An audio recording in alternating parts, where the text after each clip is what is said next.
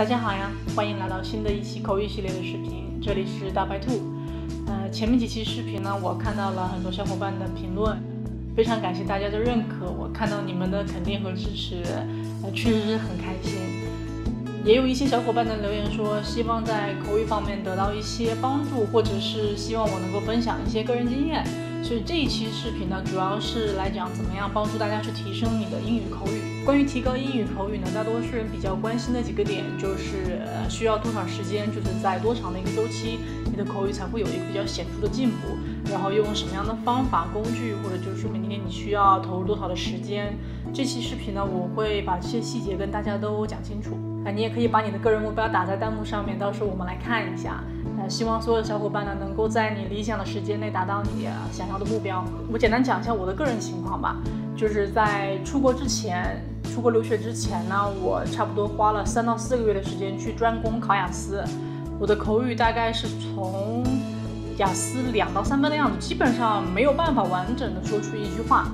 然后三到四个月以后就可以无障碍的日常交流。但仅仅是日常交流，不包括比如说一些学术方面的讨论啊，或者是一些特度特定领域的讨论，就是有很多专业性的词汇，我们日常生活中都不会去用到的。比如说医学类的呀，或者是工程类的这些高级的学术词汇，我们平常生活中呢基本上不会去用，包括中文或者其他语言也是。所以大家不要觉得必须要出国才能把英语学好，就是以我们现在的互联网的条件，还有这么多的信息和工具都在线上，你可以去用，所以有很多的方法能够帮助你达到一个理想的英语环境。对于口语是弱项的人呢？大致情况分为两种，第一种就是你已经有一定的知识储备，就是说你有一定的词汇量了，你大概知道几千个单词，两三千或者三四千。呃，你看报纸啊，或者是看电视剧啊，问题不大，就是你自己说的时候不是很流利，或者是你没有办法很精准的表达自己的想法。还有第二种呢，就是说知识储备比较少的，就像我之前的情况，我可能我当时我估计词汇量也就两三百的样子。就去写一段完整的句子都比较够呛的，英语从来没有及格过。其实第一种情况是比较好解决的，因为你的大脑已经有一定知识储备，就是我们需要把输入转变为输出。第二种呢，基础不是很好的情况下，就是说你词汇量比较少，然后英语也没有一定的基础，这个问题。是不大，就是说方法可能会稍微有一点不一样。那我们先来讲一下有一定基础的情况，就是如何把输入变成输出。就是我们在留学的时候可能会发现有一种现象，就是很多人他的雅思和托福已经达到了一个入学的标准，但是口语呢比较差。这个我觉得心理上的障碍多过于能力上的问题。因为大家毕竟就是能考雅思考到六分，或者托福考到一百分左右的话呢，说明你的英语肯定是达到了一定的水准的。这个呢，其实也很好解决。在国内的朋友呢，就是没有特别多的机会可以跟外国人交流的情况下，你可以利用很多的交友网站，就是现在有很多线上那种免费的聊天的软件，呃，打字的也好啊，或者是视频聊天、语音聊天的都好啊，这个可以利用上。呃，有一些推荐的聊天软件呢，我会放在简介里面，你们可以自己去看一下。脸皮薄的人呢，比如说你不太好意思跟别人视频或者语音聊天，你可以先尝试打字。打字呢，其实也是一种输出。中心思想就是你要增加你的表达的欲望。就如果你没有想用英语去表达你自己想法那种欲望的话，就是你所有脑子里的那些词汇量啊、语法、句子啊都没有办法很好的能够为你所用。刚开始在线上跟外国人聊天的时候，其实很多我都不会说，就除了一个 Hi，How are you？呃，基本上其他的就说的很困难，但是我有一种很强烈的想要表达自己想法的欲望，想知道外面的世界是怎么样的，别的国家的文化是什么样的，所以你一定要保持一种好奇心。除了以沟通的形式去增加你练习口语的机会，还有很多种方法啊，比如说你自己就一个人的时候，你可以尝试的就是用英文表达一些东西，也许一开始会很尴尬，但是你想一下，你周围又没有其他人的情况下，呃，也没有人看见你，所以没有什么不好意思的，对吧？举个例子哈，比如说你现在一个人在家，你要点外卖了，或者你要做饭了，你脑子里肯定是想，哎，我今天吃点什么？就是你脑子里的那个声音肯定是中文的，就是你们可以回想一下，其实我们自己跟自己在脑子里面会有很多交流的机会，你可以把这个利用上。当你有一个想法的时候，你同时你可以用英文去表达你的想法。比如说你今天点外卖的时候，第一件事情想我要吃点什么，那你。用英文的表达就是说，What am I gonna eat today？嗯，What am I gonna order today？其他的情况也可以参照这个方法。就无所不用其极的去增加自己使用英语的机会。比如你跟别人发短信聊天的时候，你在打中文的同时，你可以想一下这句话我用英文该怎么说，对吧？如果你不知道，你就去翻字典，你甚至是用有道翻译、谷歌翻译都可以。哪怕它不是那么的精准，但是起码你知道这个句子看起来应该是怎么样的。在网上跟别人聊天也好，对着镜子练习也好，找朋友互相用英文发短信也好，就利用自己生活上所有的时间和空间，把你的这个英语的环境培养起来。基本上两到三个月的时间，如果你坚持下来的话，肯定会有很显著的效果。总而言之，方法就是增加自己表达的机会，你要有强烈的表达的欲望。当你欲望足够强大的时候呢，你的行为就才会做出一些改变。如果你潜意识里都不是很想用英文去表达一些东西，当然你的口语的表达能力就会受到限制，对吧？所以方法就是跟外国人聊天、线上交友。第二就是自己练习，或者是跟朋友之间互相英文发短信。如果没有的话，小红书上或者其他社交软件上找一找，肯定有这种群，就大家去练习英文的这种群。第三个就是你一个人的时候，你把你所有的想法和想表达的东西自动切换成一个英语的模式。讲这么多话，我口都干了，喝一口啊，稍微等一下。第二种情况，我们来讲知识储备比较少的朋友，首先呢，你肯定是缺词汇量的，然后语法方面也会有一些欠缺。但说实话，语法我觉得这个东西你没有必要去专门捧着一本语法书去看。第一，你很枯燥；第二呢，大部分人看语法书是学不进去的，尤其是在没有老师讲解的情况下。我自己其实也是没有花多少时间学语法，因为我真的太讨厌语法了。我看两分钟我就能马上睡着。语法简而言之就是单词和词组的排列，对吧？你怎么样的排列才能够准确的表达出你的想法？它每一种语言它有自己的排列方法、排列顺序，它的主谓宾啊或者其他什么的排列都是不一样的。我并不是说你要摒弃语法，而是说你不要将所有的精力都放在学习语法上面。它只要说出来感觉是对的，它没有任何错误，别人听懂，这是最重要的。那关于词汇量呢？我不是很推荐死记硬背背单词。如果你喜欢的话，那也那也可以。死记硬背背单词有一个弊端，你这个词单词，比如说你今天背了三十个，如果你明天不复习，后天也不复习，就是你如果你没有一个定期的复习的习惯的话，它这个短期记忆是一定会呈曲线式下降的。就是你第一天记得那三十个单词，可能到了一个礼拜之后，你也许只能记到十五个，甚至更少。所以意义不是很大，因为有更高效的方法。就背单词呢，我不建议单独的去背一个单词，而是说单词和句子结合到一起去背。我当时背单词用的是扇贝比较多。为什么把单词套进句子里面会效果好很多呢？虽然你要背的东西，就是你要看的东西可能会长一些，就是你今天也许你连着句子一起背，你只能背十个单词，但很大概率那十个单词你到了很长一段时间以后，你至少会记到七到八个。这样总比背一百个忘八十个的要强一些，对吧？举个例子啊，比如说我们要背遥控器这个单词，遥控器是什么？remote。整个句子我们可以说 I can't watch TV without remote，就是我没有遥控器的话就看不了电视。所以你就很自然而然的将遥控器和电视联系到一起，理解比死记硬背更重要。当你能够真正的理解到这个单词或者是词组背后的含义的时候呢？它能够加深你的印象和加深你的记忆。除了套用句子去背单词之外呢，还有就是看电视、看电影，这种就是很多人都推荐的方法。但你看电视、看电影，你必须要看中英文双字幕的，甚至也可以看纯英文字幕的，这样刚开始会比较痛苦一些。那你看的过程中呢，你不要只看剧情，不要只光享受电影的情节或者电视剧的情节，你看到有一些不懂的地方。就一定要把去按暂停，然后把这个东西搞清楚是什么意思，一定要有一种较真儿的精神哈。但是呢，我这个人比较倔，我看到一个不懂的单词或者是词组，或者是一些英美口头上的表达方式，我一定要去百度一下，看看它到底是个什么意思。明白了以后呢，才能继续看。刚开始可能一分钟会暂停个十几次，甚至是二十几次，但是都没有关系。你越到后面，你把这件事情坚持做下去，你越到后面暂停次数越少。然后过不了多久，你基本上就可以完全是没有中文字幕的去看一个电影或者是看电视剧。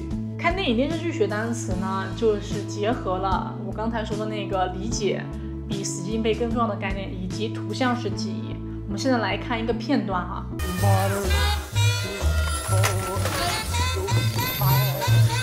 大家注意一下哈，这个武器长矛 Javelin 在后面的片段呢会出现很多次。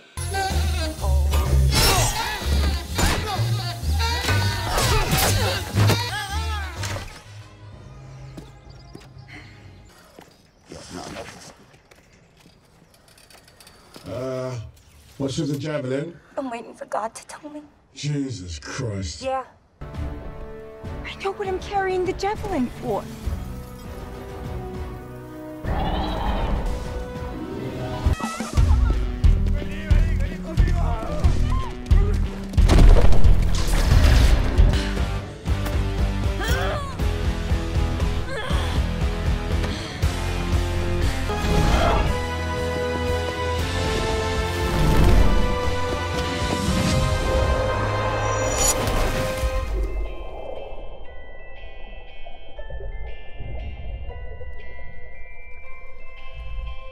看完刚刚那个片段，你可能也记住了这个单词 javelin。所以说呢，图像式记忆是一个非常好的方法，要想办法好好去利用它。就除了看电视、电影、听英文歌之外，如果你不是很感兴趣，也可以考虑打游戏。就是很多线上的游戏有国际服呢，你进国际服的话，肯定都是英文的，这样你对你学英语会有很大的帮助。但是就是不要。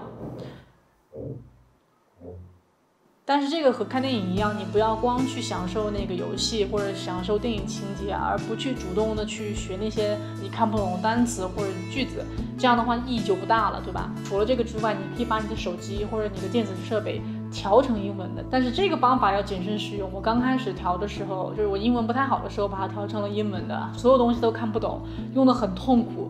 费了老大劲，各种百度才把它调回去，所以你要自己慎重考虑一下，是不是要把手机调成英文的。还有一个演讲，这个演讲呢，在 B 站上有，在油管上也有，我链接也会放在简介里面，你们自己去看一下。就这个人，他在上个世纪的时候，上个世纪末，大概八九十年代的时候吧，来了中国。就在那个时候，网络还不是很发达的阶段，他都有办法在六个月的时间内将中文提升到一个基本上日常交流无障碍的水平。所以我非常建议大家去花十几分钟时间，把这个演讲好好看一下，对你学英文会有很大的启发，有很大的帮助。除了这个演讲呢，TED Talks 也有很多非常有意义、很有意思的话题，大家也可以去 B 站上面找一下。对了，今天我们还有特邀嘉宾，现在跟西梦连线一下，看看他能够给我们一些什么建议。因为他自己英语也不是母语，所以呢，他在学习英语的过程中也有一些可以值得分享的。Hey, dude, what's up? Hello. Um, it's alright. How are you? No, you know, same old. Nice. Good Okay. So here's the thing. Um, I have some friends on the internet that need some advice about how to learn English or specifically how to improve their English speaking skills. So I know that uh, English isn't your first language either, and maybe you can give them some advice from your side as well. Um, sure. Although the way that I learned English was a bit of an unconventional way, I would say. But um, yeah, so basically for me, what what happened was that I didn't really want to learn English. I hated it when I first started, and I kept being signed up to different schools, and that never took. And uh, eventually, I started playing a lot of uh, video games, and the video games had a lot of explanations because back then it was uncommon to have uh, actual speech. It was more text, so you were constantly reading different missions and things like that. And uh, by just reading them and then trying to figure out what each mission was and googling it, I was able to, um, you know, get used to the words. And then over time, I started using voice chat to talk to different people while playing games, and that's how my uh, English evolved. Basically, I just kept using it in every day. Okay. Um, question. So when you first started talking to people over the internet, did you have some sort of weird feelings, or were you scared to talk to people? Uh, you, like you were worried about you don't know how to express yourself properly. I mean, yeah, it was a little bit rough. Obviously, they were all uh, speaking a lot better than I was. I didn't know all the words, but uh, because it was in a video game setting, all you needed to know was the words that were most often used in the game, which I knew from the quests and stuff that I was reading. So it was a bit easier, I guess. And then over time, when you just do it enough, you just stop caring, and it's uh, becomes natural. Okay, so you just have to overcome the fear of speaking and not care, basically. Yes, and also watched a lot of Cartoon Network, which was all in English in Bulgaria in the uh, 2000s. But did you like force yourself to remember certain words or like do any practices from school to improve English? No, or no, you just purely out of practices with people and try to remember what things mean by associating words with meanings? Exactly. I'm a little bit allergic to schools. Doesn't really, doesn't really, it doesn't really work out very well. Okay, I see. And is that the same way you learn Dutch? Uh, yes, almost. Uh, except I really didn't want to learn Dutch. I kind of didn't want to learn English, but I really didn't want to learn Dutch. So I did everything I could to not learn it. But uh, unfortunately, I did still learn it over time. Okay, so but your way to go is not learn a language, like not wanting to learn language and then you learn language. Exactly. Not not doing anything at all, and then it just happens. Yeah, It's the way. sure, I see. And how did you work on your grammar? Oh, my grammar? Oh, I didn't. Unfortunately, that's not a subject I can help you with because I know nothing about grammar. Okay, I see. learned it over time. Yeah, I, I, um, I just I also didn't really pay much attention to grammar. I just, you know, learn sentences from movies or talking to people. Then I know this is how a sentence should be and this is how it makes sense. I mean, when we learn Chinese, we don't learn grammar when we're kids, right? We just learn how uh, other people talk and then copy that. Well, I um, honestly I never learned grammar because I never really had an English teacher for a long period of time, other than at the university level, I guess. But I already knew enough English to just not need it. Um, so I never really learned grammar, which means I don't even know the difference between a verb and a noun. I don't even know. I just know why sentence that a sentence is correct, but I can't explain to you why. Okay, valid. Uh, I think that was some really helpful advice we can give That should be pretty much it for uh, for this call, and yeah, I'm gonna wrap up from here. Okay, that's fine. Just let me know if there is anything else you need, and I'm happy to help. Okay, thanks. Bye bye. Bye. 好了，我们讲了这么多，是不是有人要睡着啦？你怎么睡得着的？你这个年龄段，你这个阶段，你睡得着觉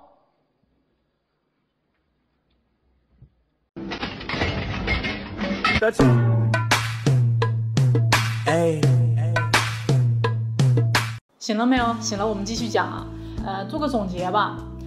最重要的就是把英文和你喜欢的事物联系起来，日常生活中去增加使用英语的习惯和机会。还有就是关于在线上和外国人聊天交友呢，我要给你们提个醒啊，就是在网上聊天交朋友，你不管是在中国还是外国都是一样的，就是网络上什么人都有，你不管是男生还是女生，第一件事情就是要好好保护好自己，不要吃亏，不要上当，然后把国家反诈中心的 APP 下起来。